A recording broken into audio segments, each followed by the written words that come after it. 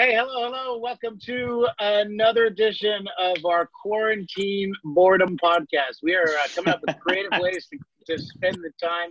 So far this week, we've talked to an ER doc, we've done a workout, uh, and we've uh, made some cocktails. And now I'm getting hungry, Flash. I don't know about you.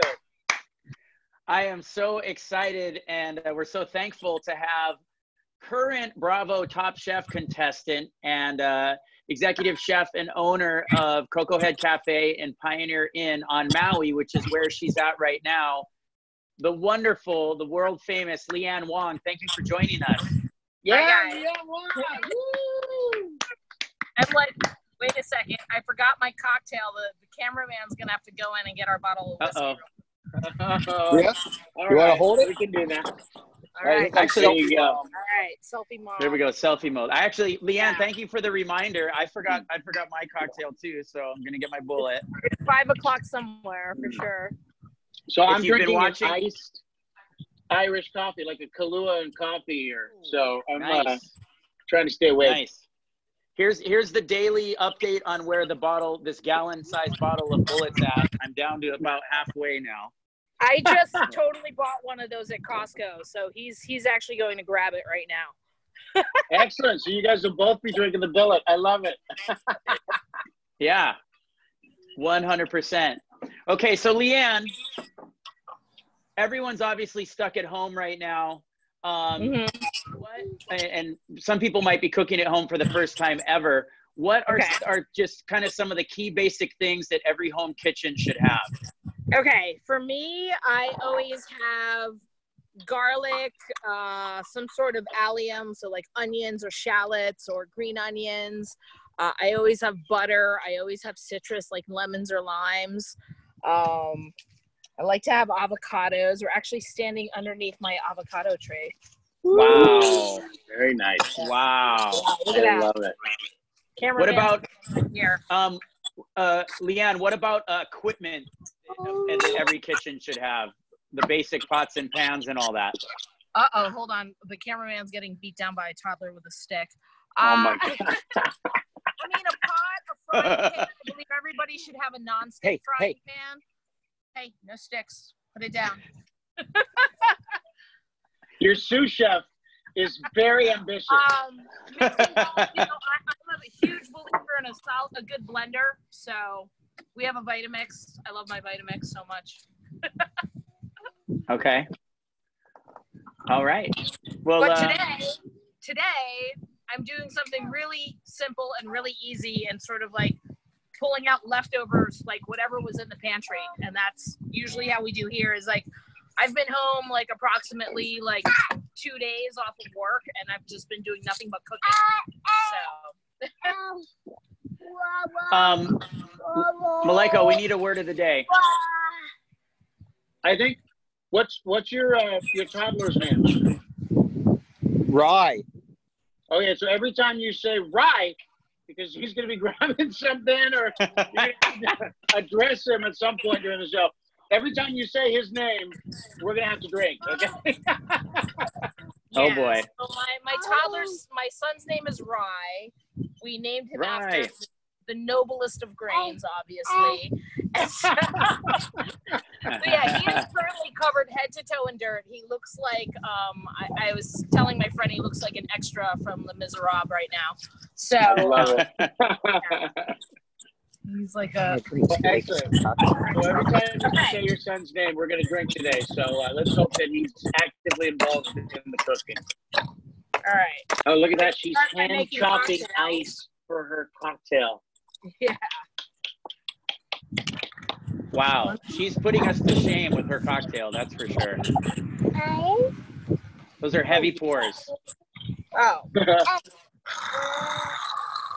I've They're- never met a chef that doesn't like to drink, by the way.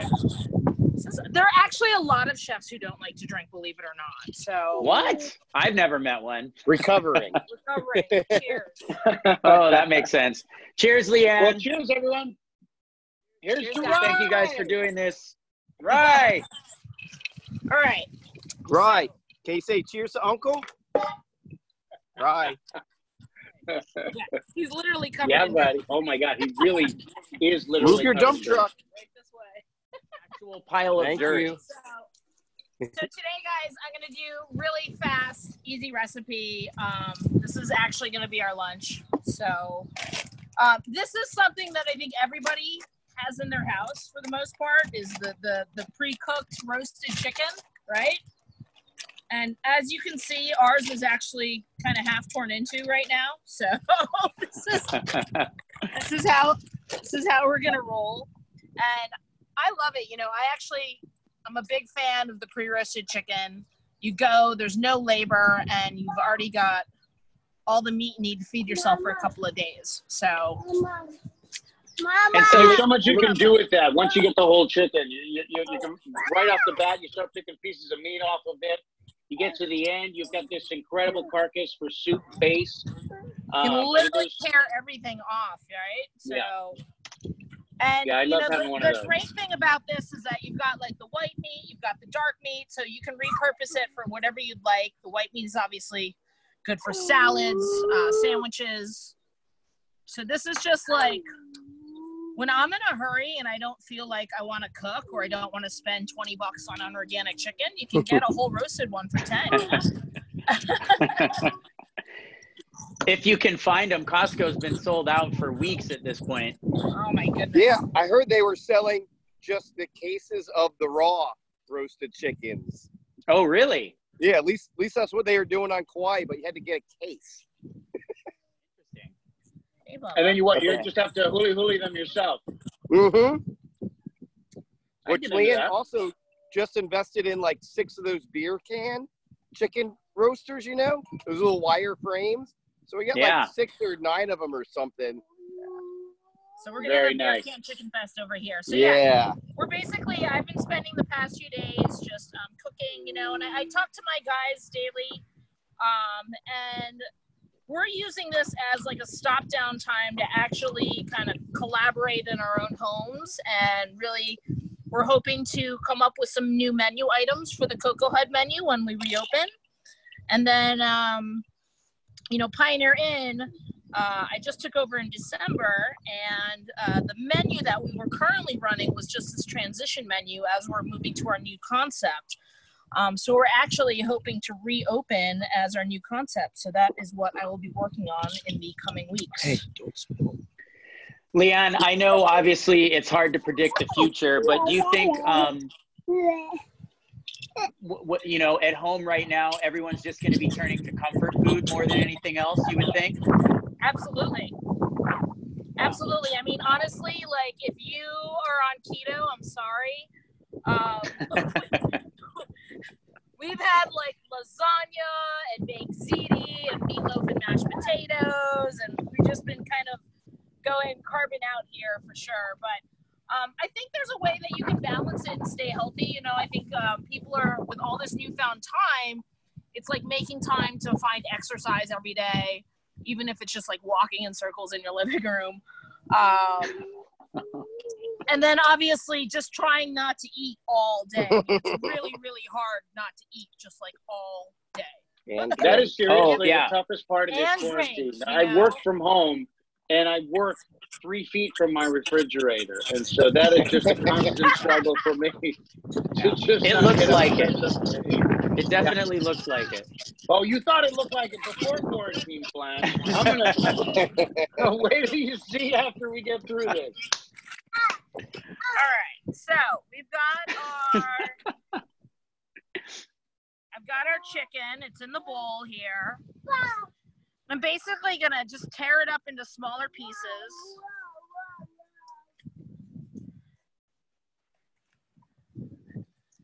And in the meantime, just tear that up. I throw the skin in there because I'm just Mhm. why not? Yeah, why not? I'm a I chef, love the right? skin. You know, you don't get rid of the skin on the chicken. So, okay, so I have all this beautiful torn chicken meat, and now I'm just gonna take some some basic vegetables that I had uh, in the fridge. I have like half a head of leftover Napa cabbage. So I'm gonna take this and just very thinly shred it. And I'm doing sort of like almost like a Vietnamese style chicken salad, except we got kind of just whatever's in the fridge here. So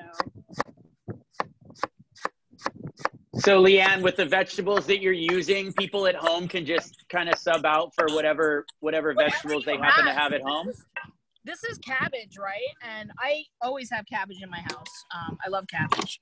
But if you've got like bok choy or lettuce or romaine or or uh, really any kind of vegetable, you can shred it and use it to make a beautiful salad. So I also have this um, carrot. So I'm going to take a little bit of this carrot, and we'll just go ahead. Mm. Yeah. I'm going to go ahead and just cut this up. This video is worth it just to watch her knife work. It's hard with the gloves on, I gotta say. A little tricky. This this is not as fun when we're doing it remotely because we're not going to get to eat this when it's all said and done. this is this is like a big, you know, I'm getting blue balls here.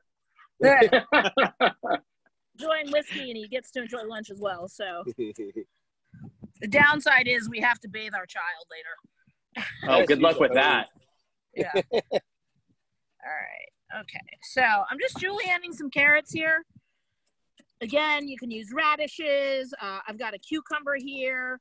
Really, whatever vegetables you have in your um, fridge are going to be good. It's kind of like a chopped salad, really. Okay. And, how you're cutting the vegetables, does that matter? Uh, up to you. I mean, I'm a chef, so I'm kind of fancy. So I'm just, you know, I want I want everything to be in a kind of very similar shapes. So I'm doing a julienne like batons here. So I'm adding some cucumber right now. This is going to get a little uh, green, a little freshness to the salad. Okay. Some crunch. All right. Crunch. Hey, sh- uh, cameraman, you want to take them to the garden and get some basil real quick? Mhm. Oh, we're going on an adventure. Going on an adventure. I was like, I needed basil and I forgot. So we have some in the garden. Dun dun dun. Here This is great. So new- it's so it's like cribs. yeah. On this episode of Cribs, celebrity chef Leanne Wong and her organic garden. What um, what else do you have growing uh, in the garden besides basil? I just I just got it started. So really, I got basil, uh, Genovese. I got Thai. I got some nasturtium here. I'm trying to get going. The mint kind of didn't make it, but it looks like it's coming back in the bottom there. And now, Um, did you did did you guys start the garden um, uh, because of of the self isolation and the quarantine, or was that was that already happening before all this went It's- Uh, it was already in the works. I hadn't. I've been waiting for seeds and you know more dirt and all kinds of other stuff. But um, yeah, Yeah, because because Rye keeps taking all the dirt, so you keep needing to Yes. order more dirt. yeah, yeah. Every morning, it's like he gets up and he comes out here, and here's his dirt pile, and he just does Oh, somersaults. said down. By the way, wait a minute. We totally. Rye, Right. Yeah. Oh, good catch, great. Maleko.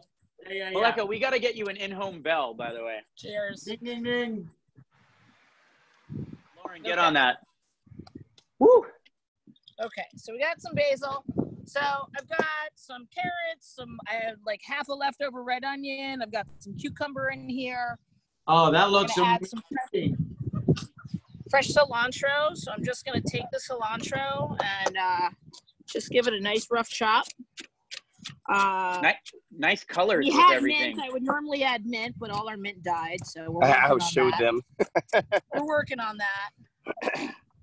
So lots of fresh herbs in here, and then we're gonna take some of this beautiful basil. We're gonna go ahead, just mince that up for a little bit of flavor.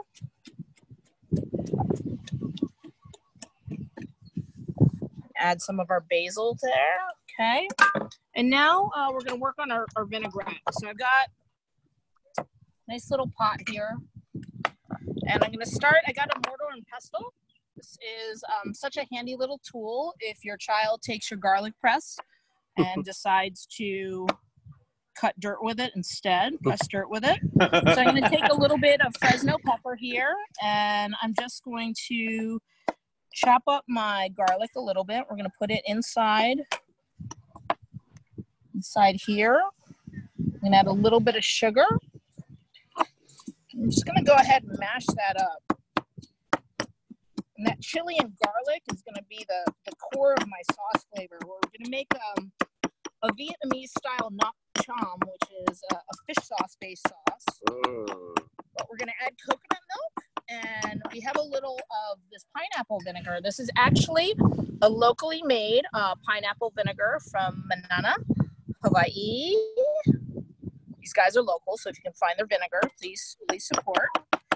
And you can see as I pulverize this, you get all that beautiful juice and flavor in there. And that is going to be our garlic and our chili for our vinaigrette. So I'm going to add that to a pot. Mm, my God. I'm going to Mouth add watering. some brown sugar. We're going to add fish sauce, which I love. You want to plug the new fish sauce that you love? Oh my God, the new fish sauce I love is called Mega Chef. My friends turned me on to it. And I'm gonna add some coconut milk here. This is actually a coconut cream, so it's extra thick. And if I stir that around, we're gonna add a splash of vinegar, and then I'm gonna boil, bring this to a boil real quick. Um, so I've got sugar, vinegar, chili, garlic, little coconut cream, and some fish sauce.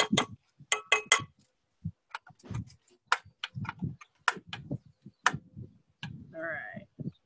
And so you're just kind of eyeballing everything for the sauce, just a little bit of this, a little bit of that. I mean, I can tell you. So I did like one large clove of garlic and uh, maybe like half a Fresno chili, and then I Oh, wow. added three, maybe a quarter cup of brown sugar, and then a quarter cup of coconut cream, and then Uh-oh. like two tablespoons of fish sauce, Uh oh. and another two tablespoons of rice vinegar. And we're just gonna bring this to a boil. No touching. Hey, no touching, bud. I've got the dirtiest bear in Hawaii right here. I'm sorry. What's your what's your bear's name again? Rye. Rye like Hey! the whiskey. hey, Bubba. We're almost ready to, to make salad, okay? So I've got this, and we just literally are bringing this to a boil. Can't even tell time is on. I don't think it is. Nope.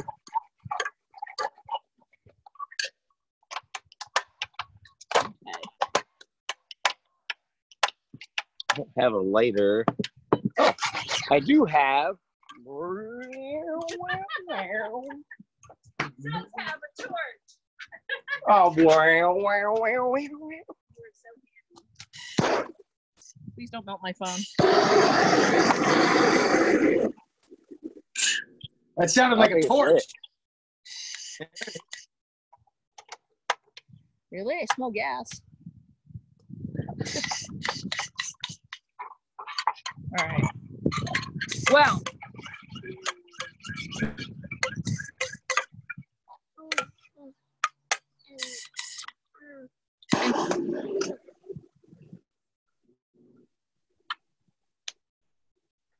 Oh wow.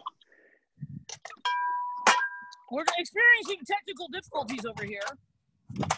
This is it. It's like chomp. Got five minutes.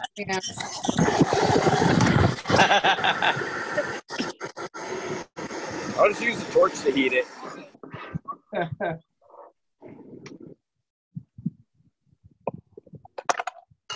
So I'm squeezing a little fresh lime juice into there. Fresh lime juice just in the sauce. Yeah, just in the sauce, just to finish it. Gives it a little bit of brightness. And essentially, you just want to heat it so the sugar dissolves and the um, so the sugar dissolves and the coconut milk emulsifies into the sauce. And I'm just going to go ahead and pour this over everything. All right. Hey, can mom have those tongs back? Oh, that's okay. Don't worry about it. All right. Okay. Your your sous chef is about as helpful as my assistants are. Oh yeah. Is he talking about you Maleko? No. Yeah. Maybe he is. sure, I, I can throw him in there too. Why not? Yeah, and then just gonna go right in the bowl. Uh, Leanne, I guess we should ask this sooner. When you started with the chicken, wa- was it started? Did it start cold, or did you heat it up first? It's like straight out of the fridge. Okay. It's a cold chicken salad uh, with like a, a Vietnamese coconut vinaigrette, and um, yeah, Mm. it's done and it's delicious. And I kind of want to eat now. Yeah, we do. Yeah, we do too. Only you know we're not there. Can we get a close up on the on the on the plate? It's delicious. Oh my goodness. And if you take like, you know, like jerky, French fried onions, or little fried shallots on top, really, really Mm, perfect. Some crunch. So Leanne, what's going on on Top Chef? Where where and how can we watch Top Chef? What days is it is it on? What can you tell us about Yeah, Top Chef? tonight, tonight, 10 p.m. on Bravo. Um, tonight, I get to meet Ali Wong and Randall Park. It was really, Mhm. really fun. Um, tonight is also a nail biter. I'm pretty sure I make some of the worst food I've ever made in my entire life on this show Uh-oh. tonight. No. Stay tuned. Watch what happens. So that's that's um Leanne, that's 10 p.m. Hawaii time. Uh, I don't, I don't even know. You know, here's the thing, Flash. I don't have a TV. We have like Netflix, and that's it. So and Amazon Prime. Um, so it That's- is. Just check your local listing. Um, I know if you can't, if you don't have cable and you don't have BravoTV.com, you can um, or Bravo TV, you can log on to BravoTV.com and download it there, or you can watch it on YouTube or Cover your mouth. Hulu. Um, and you know, I mean, it's fun. It was a fun season. Um, tonight is no, no, no exceptions. How It's how hard is it? People are like, people are like, have you seen the episode? Have you seen the episode? I'm like, no, but I lived it. You know. How hard is it to uh, to keep the secrets of what's going on with each episode? Because I'm sure you have annoying friends like me asking, you know, what happened? How far did you get? And uh, you have to sign like NDAs Right. to keep Careful, everything careful. a secret, right? Careful. Ouch. How he just peeled his finger. you okay? No, look, he's got blood. I know. All right, let's not film that. Okay. All right. Oh. All right. Come on, movie star.